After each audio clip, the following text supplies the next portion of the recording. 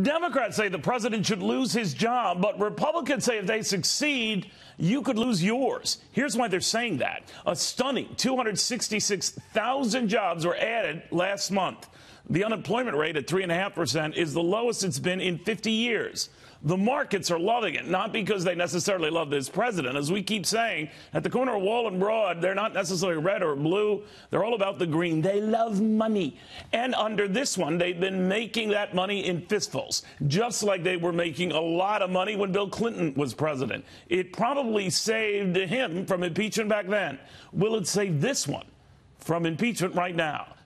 The economy is on really strong footing, and I continue to see data coming out that's showing it likely is going to continue being strong going forward.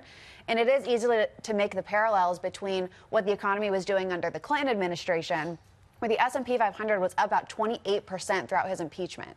And we're really seeing that strong data and Clinton stayed in office, so I think the question is is that indicative of what will happen to Trump? I don't know what will happen on Capitol Hill, but I'm very bullish on where the economy is going. And I think with the economy, there needs to be a conversation about wages because obviously the stock market's doing well, the Dow's doing well, wages aren't moving up at the same rate. Well, here's where I might differ with that. 16 straight months, 3% plus wage growth. That's not off the charts, but it's off the charts historically as a record run of, of wage gains. Mm -hmm. That's something the president can point to because predecessors were not stacking that kind of achievement up.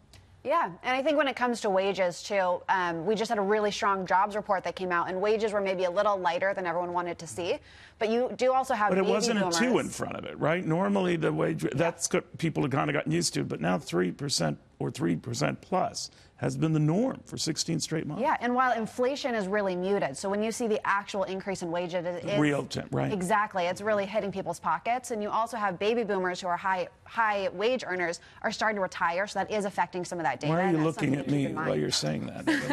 Dan, did you, did you catch that? Yeah, I did. I was wondering about yeah, that. Yeah. But listen, I think Courtney's right to actually Uh, compare the growth of, of wages related to inflation because that's what really right. matters. Are people getting ahead? All right.